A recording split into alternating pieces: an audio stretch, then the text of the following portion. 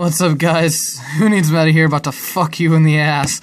Uh, we uh we picked up an entire gimmick puppet de- deck um that Andrew played at the locals, and we're gonna show you after like he finished up with five rounds, uh, made changes, made it better. This deck has been legal for a day, so we're gonna kind of show off what we think is gonna be good. Uh, he played this in, on the OCG before we found out that the cards were not coming to us, and for a long time now they finally are here. So. Uh, so we know the deck a little bit. We've uploaded a videos a couple four minutes ago of playing the deck. So let's get right to it.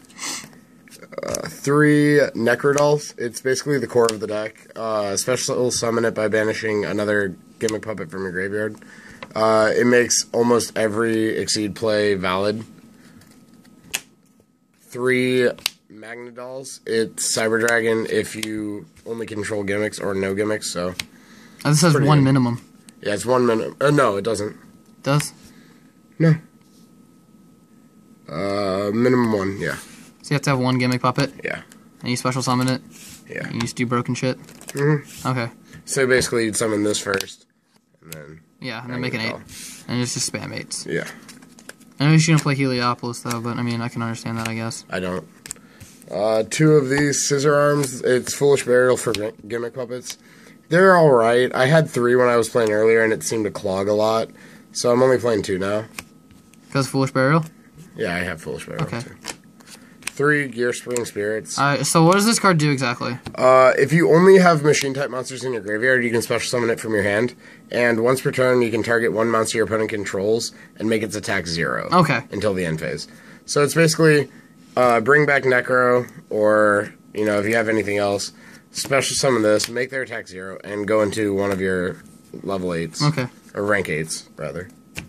This is my tech. One Jinzo. Told you. Shut up. Told you. I mean, you're always gonna have tribute fodder, so running a machine type tribute's pretty good, especially when it's Jinzo. Shut up. And you don't play a lot of traps. No. Uh, one Birdman for Synchroing. I mean, yeah. You can pretty much you know special something, bounce it back to your hand, and then Ditch it with Fortress or. Yeah, yeah. And speaking of that, three fortress. I run the Machina uh, engine because it's more consistent. You'll always be able to get rid of dead eights in your hand with fortress and cannon. So Yeah, so you can like foolish burial for this or something like that, and just get rid of all the, the useless garbage. Uh, yeah, stuff in your hand, the useless eights, and then you have other stuff for eights like trade in. it also opens up to rank 7s like Dracossack Big Eye.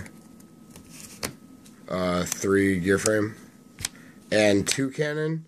Two cannons not bad because of triple trade in. Exactly, triple And, trade in, and you can get rid of stuff and special summon the cannon. Mm-hmm. Cannon likes those, you know, dead stuff for food. Well, it's special summoning another level eight for uh, exceeding as Mm-hmm. well. So. Yeah.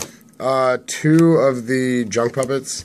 Uh, three gets cloggy. Is it really because you banish too much to special summon them?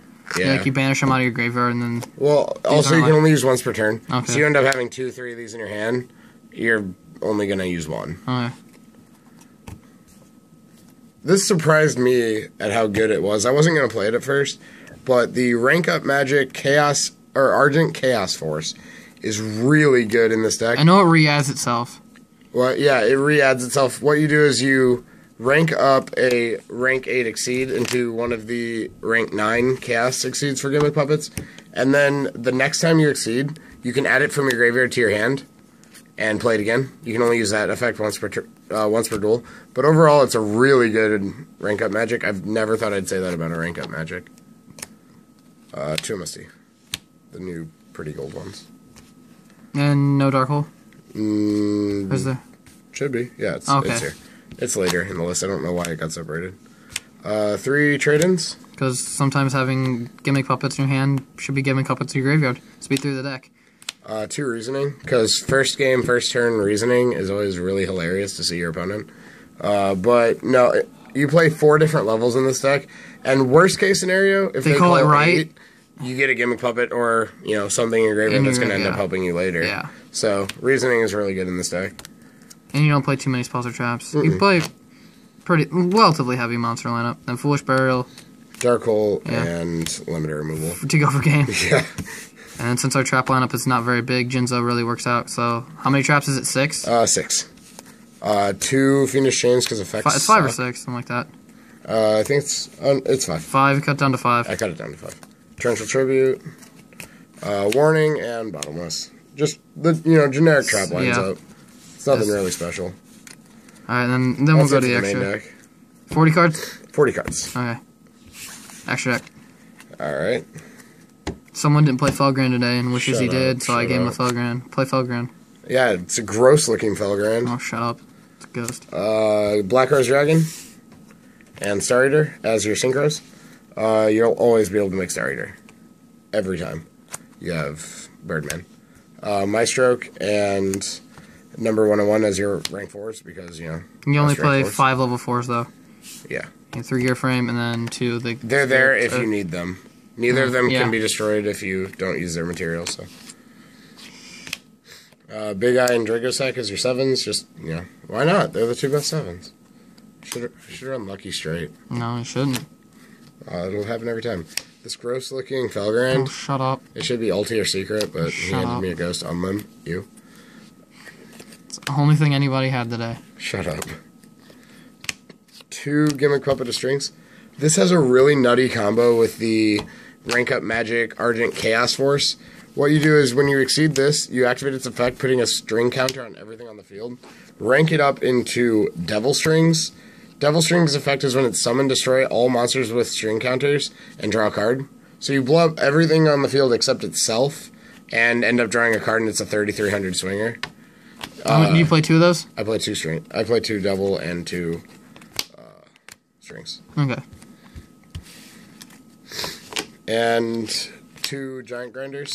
This thing can get around Zenmaines and Maestro and everything really easily because with the same combo as the strings, you're going to be using that rank up magic and first pop two and ranking it up into Giant Hunter. Giant Hunter's effect is you can destroy one card on the field, and if it was uh, a monster, inflict damage equal to its original attack. Something I forgot to mention with strings is after you blow the field, inflict damage to the to your opponent equal to the highest monster's attack when you do it. So you just you just basically can burn for a lot A lot. with stupid shenanigans. And when you, if you've summoned one of these and the rank up magic's in your graveyard, say I went into grinder next turn, I'll add that rank up magic back and be able to go into either strings or hunter again. So it's a really good consistent deck overall, I think. I think it's going to need a lot more tuning, but this is a good place to start. Is that the full extra? That's the full extra. All right. Thanks for watching, guys.